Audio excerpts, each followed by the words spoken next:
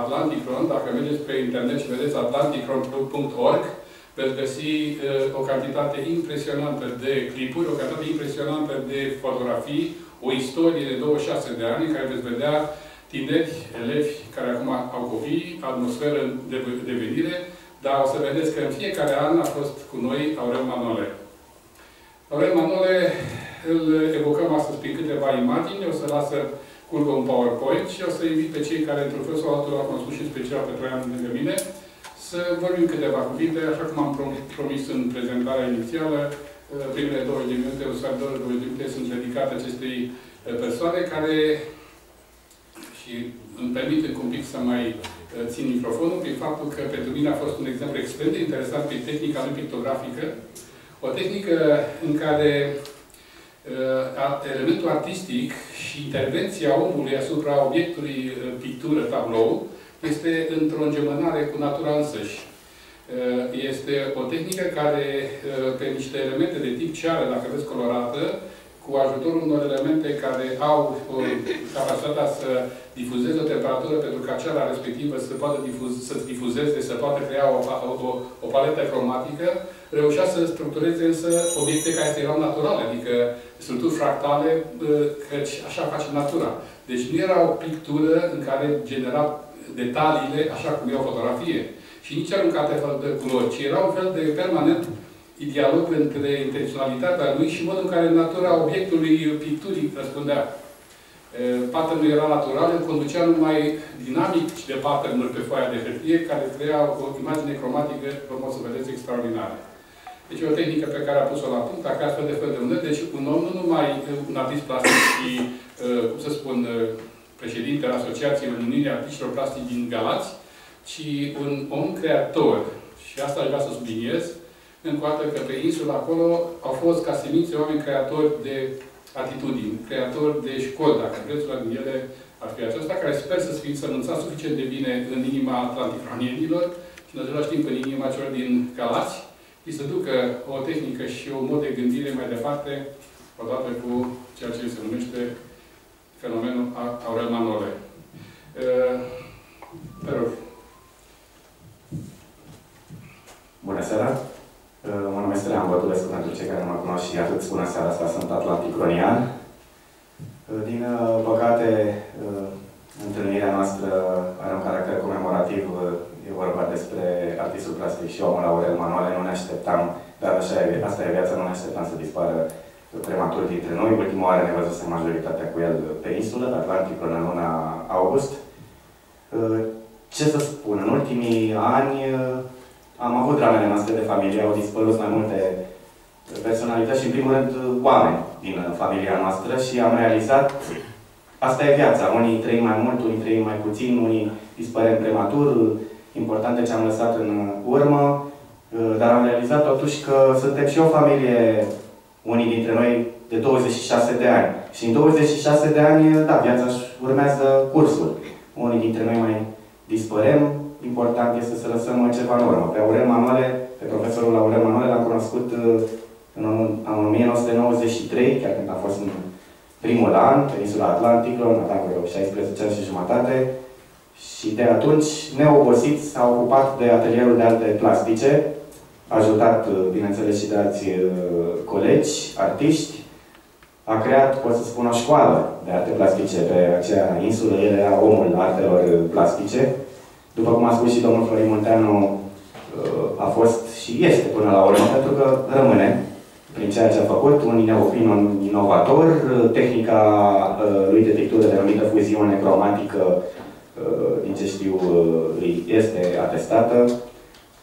Chiar am uh, avut ocazia să fiu și eu fericitul martor al susținerii lucrării de doctorat în arte plastice a domnului Aurel Manole, acum nici nu mai știu, 7, 8, 9 ani. Și eu zic că lucrările semnate Aurel Manole atât prin fuziunea cromatică, atât prin calitatea artistică, dar și prin uh, ceea ce sugerează dincolo de artă, uh, vor rămâne așa cum rămân și lucrările unor mari scriitori sau lucrările unor uh, mari oameni de știință. Îmi pare rău și Pot să zic acum în fața dumneavoastră că mă voi ține de proiect. Chiar anul ăsta discutam cu Aurel Manole, cu Valentin Ionescu, care a colaborat cu Aurel Manole atâția ani, tot artist plastic. Vreau să facem anul viitor maxim două deplasări, una în România undeva, într-un loc frumos și una în Grecia. Și aveam de gând să promovăm țara noastră și și Grecia, care e o țară frumoasă cu istorie, prin pictură. Domnul Manole fiind și președintele Uniunii Artiștilor Plastici din uh, Galați. Din păcate, uh, nu se va mai putea face chiar așa acest proiect, dar uh, în memoria lui Aurel Manuel, eu lucrând și în turism, chiar vreau să continuăm acest proiect. Dumnezeu să-l odihnească și eu zic că El va trăi prin noi cei care suntem aici și nu numai. Vă mulțumesc! Um, tehnica asta ciudată uh, ilustrarea pentru ce înseamnă uh, zona de science fiction a fost într-adevăr absolut deosebită și cred că merită atenție. Uh, sperăm ca, uh, acum, cinstit vorbind, fiecare dintre noi a primit de-a lungul timpului câte o câte un tablou, nu numai una, ci să avem o colecție. Am putea la un moment dat să-l adunăm și să facem eventual o, știu, o retrospectivă, dar și cu lucrările sale pe care într-un fel sau altul, ne datorăm fiecăruia. E, într-adevăr, un exemplu de școală. Dacă mai e cineva care trebuia să vină și solite să apară, dar din păcate noi o să mergem mai departe în program. Dacă mai vrea cineva, eventual, care l-a cunoscut, să ia cuvântul.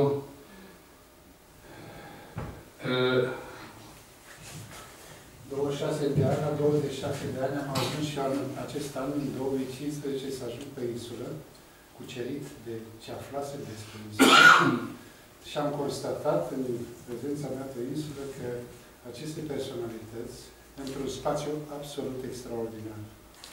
Curgerea Dunării, cu curgerea de idei, de vârste, într-un triunghi de aur, este Topalu, insula și Capitala. În toate trei este o secțiune de timp din istoria lungă din actualitate insula și la Topalul Muzeul de Istorie, unde vă rog să mergeți și să călcați în toate cele trei puncte. Acolo l-am văzut, l-am cunoscut, numai că are culoare care curge, care difuzează, dar era un om care avea de dat. Asta m-a impresionat și căldura lui și dătărnicia cu care își ducea învățăceii merită să ne amintim. A fost minunat. Mulțumesc mult pentru cuvinte, mai ales că este o trăire autentică și, uh, într-adevăr, lucrul respectiv, capitala din un loc particular. Mă bucur că ești aici în primul rând și mă bucur că e cuvântul. Bună seara! Uh, cred că sunt uh, singurul gălățean de aici. Nu e singurul. Tu ai fugit de mai mult timp. Bine. Uh, Aurel Manole a fost important pentru Galați, dar nu doar pentru Galați. Uh, și a pus uh, pe cetea foarte mult pe destinele culturale și artistice din Galați și din Brăila.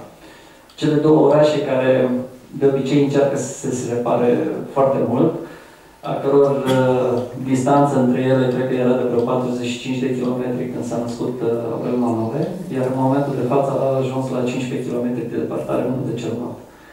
Uh, a predat uh, arta la Galați, dar foarte mulți ani a fost uh, și la Brăila și a urmat uh, destinele artistice a celor de acolo. Cred că a fost un, unul dintre primii cetățeni ai orașului care va fi format dintre Galați și Brăila. De asemenea, el uh, a pus mult accentul pe partea science fiction, firește sprijinind-o prin arta sa, dar uh, s-a implicat foarte mult în cele două cenacluri de la Galați și de la Brăila. Vorbesc aici despre Nova 5,5 și Sfera de la Brăila. Îi spun doar la revedere. Cred că o să, mai devreme ori mai târziu, ne revedem undeva. Mulțumesc mult pentru cuvinte. Îl avem în minte și suflet și cu atmosfera respectivă de artă și valoare umană materializată în culoare și formă, să intrăm într-o parte complementară, poate mult mai aridă, și și anume încercarea de a înțelege în, cu tot o altă cheie, eventual, dimensiunea politică. În fond, traversăm o perioadă, așa cum ați văzut, de convulsii la scară planetară, de căutări și, în același timp, de răzbunări. O istorie care este extrem de dură, o istorie care ne provoacă să reacționăm și uh, e foarte interesant să vedem dacă vom fi capabili și uh, suficient de înțelepți. Pentru asta ar trebui să încercăm să avem pe cât posibil o vedere clară asupra ce înseamnă actul politic, ce elemente de upgrade conceptual am putea să aducem pentru a putea înțelege mai bine ce înseamnă uh, o mare diferență dintre uh, ceea ce se numește uh, organism social în raport cu ceea ce se știe astăzi ca fiind sistem social.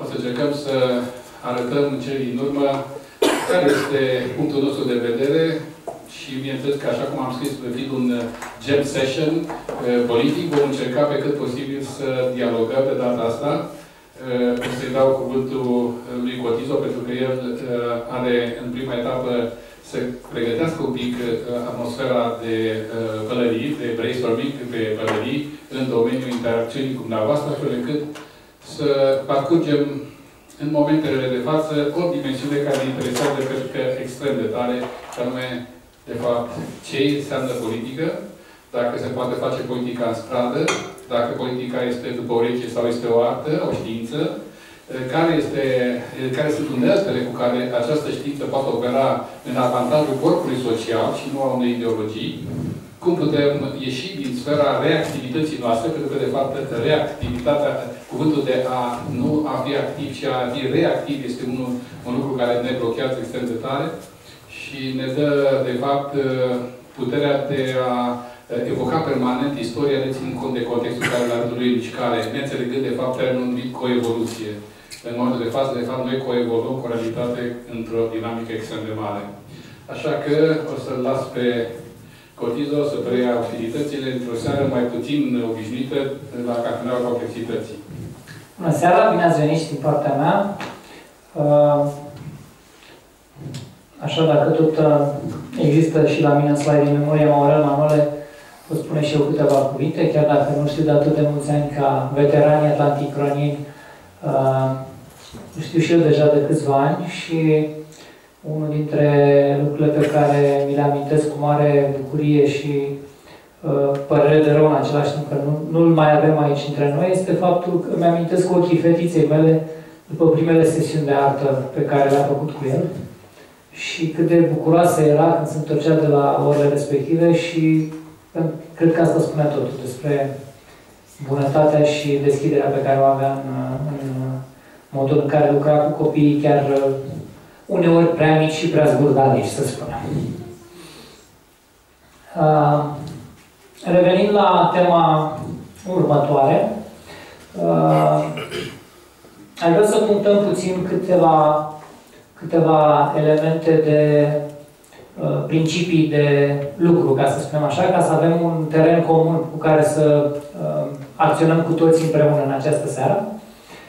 Și uh, principiile, cei care sunt veterani la cafenea, probabil că le-au auzit de mai multe ori deja, dar pentru cei care sunt mai proaspeți, uh, cred că e binevenită această recapitulare. Poate unii n-au auzit, poate unii n-au mai auzit de mult și atunci cred că merită să punctăm puțin chestia asta și anume Uh, ne propunem ca sesiunea din această seară să se întâmple în acest uh, cadru al metodei pălărilor gânditoare a lui Eduard de Bono și ca să putem avea un cadru coerent, uh, am considerat că merită să reamintim puțin despre ce e vorba. Aici așa o perspectivă generală. Eduard de Bono este un gânditor în ale gândirii, ca să spun așa. Primele lui lucrări au apărut în anii 60 are peste 70 de cărți scrise, uh, a fost consultant pentru personalități politice și pentru corporații uh, internaționale. Am avut ocazia să-l întâlnesc la o conferință în București în 2004, cred că a fost singura dată când a fost în România. Și uh, am ajuns întâmplător la conferință, sau mă rog, aproape întâmplător. Dar după conferință am pus mâna și am citit cât am putut din